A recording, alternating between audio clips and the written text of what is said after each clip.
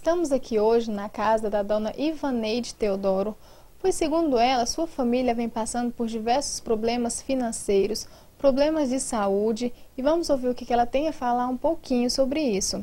Então, dona Ivaneide, é, quantas pessoas que moram aqui com a senhora, além de pessoas grandes também, tem crianças, é isso? Tem, três crianças, três crianças três adultos.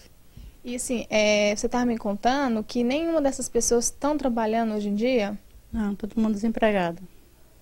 Que tipo de dificuldades que a senhora está passando? É, as suas filhas, as crianças, que tipo de dificuldades que vocês vêm enfrentando aqui? É, a gente vem passando dificuldade, né?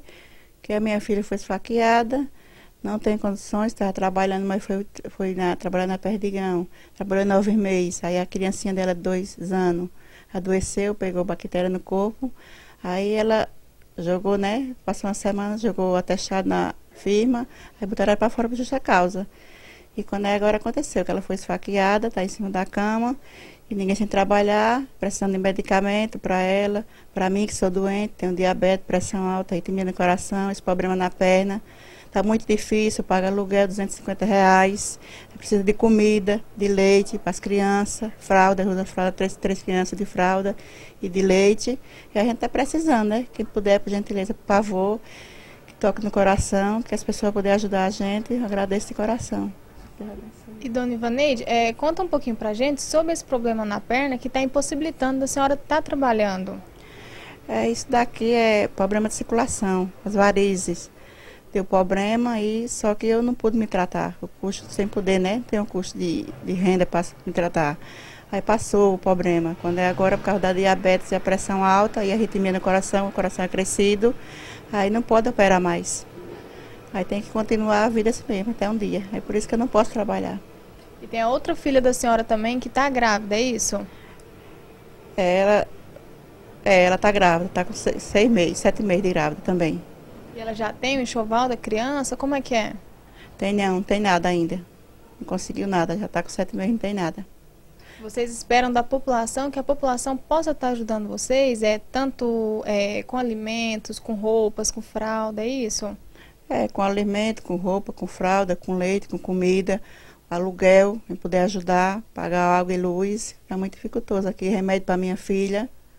Que deve poder ajudar com tudo, Estou precisando, estamos precisando de tudo, estamos com muita dificuldade. E além da senhora ter que tomar, é, a senhora está me contando 10 comprimidos por dia, por dia, a sua filha também está tomando comprimidos, é isso? Tá. É, eu tomo 10 comprimidos por dia. É para o coração, dois para o coração, dois tipos para o coração, dois, dois para a perna, é, de diabetes, pressão alta, são todo, ao todo 10 comprimidos por dia eu tomo. Essa situação está difícil para vocês? Está é, difícil demais, difícil. Já me abalei de lá, né, de Alagoas para cá, que aconteceu com a minha filha, foi esfaqueada, lá em cima de uma cama, operada. E só vim de lá para cá porque pagaram para mim, para mim vir de avião, porque eu não tinha condição de vir. Aí me ajudaram. E primeiramente Deus e as pessoas, eu estou aqui. Mas quero né, que as pessoas me ajudem, porque está difícil demais. Para quem tem interesse em estar tá ajudando vocês, é como que as pessoas podem estar tá procurando?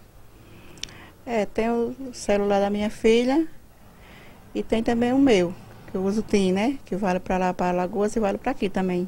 Qual que é o número de vocês? O da minha filha é o 99049102, que é o vivo. E o seu, dona Ivaneide? O meu TIM, que vale né, para lá e para cá, é o 96474895. Então, para você que esteja em casa assistindo e tem interesse de estar tá vindo aqui para ver realmente essas dificuldades que a dona Ivaneide está passando, o endereço dela é Rua Caiapônia, número 1267, aqui no setor Santa Maria. Então, dona Ivaneide, só para finalizar, é, reforço para o pessoal em casa, é, o que, que vocês estão precisando aqui? É, a gente está precisando né, de alimento, alimento, fralda para as crianças, leite, é, aluguel, né? O aluguel que também estamos parados, não tem ninguém tem aqui sem renda, o aluguel, dinheiro para água e para luz e para medicamento, né? Eu também sou doente, tenho esse problema na perna, tomo 10 comprimidos por dia. A gente está precisando tudo isso. A senhora espera realmente que a população de Jataí te ajude nesse momento? Eu espero, com fé em Deus e as pessoas, tocar no coração, que vê a nossa necessidade, que ajude. Eu agradeço a Deus por todas as pessoas.